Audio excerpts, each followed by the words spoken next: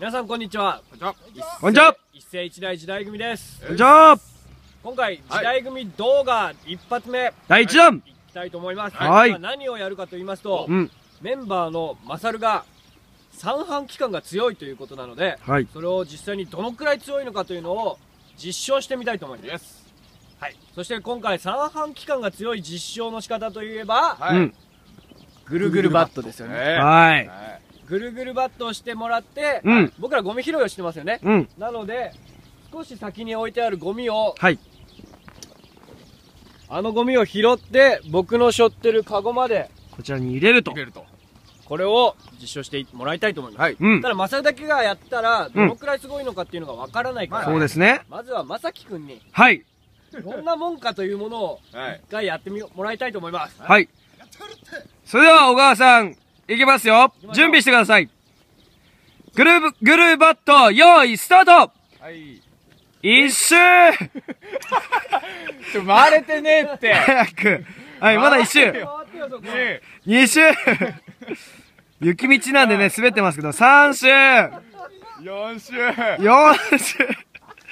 あの、ぐるぐるぐるバットで回ってるのか、滑ってるのかよくわかりませんけどね。7周8周9周ラストはい行ってまずきゃん行って行ってはい。ようやく、あの、準備してください。早く拾って取ってカゴに入れる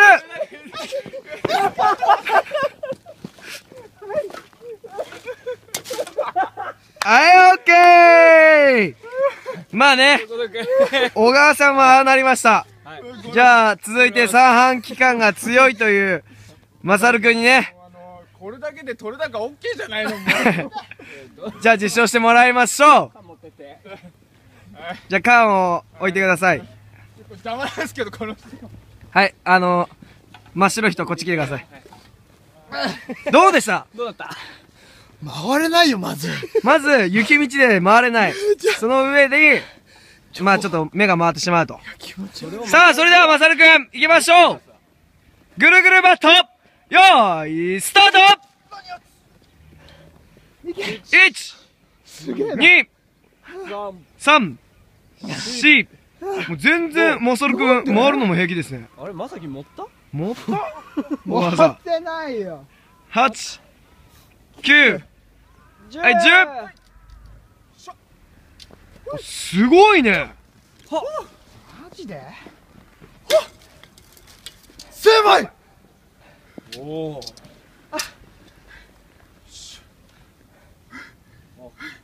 素晴らしい。俺は三半規管強いんじゃないですか？えー、結果、マサルは三半規管が強い。しんどい雪道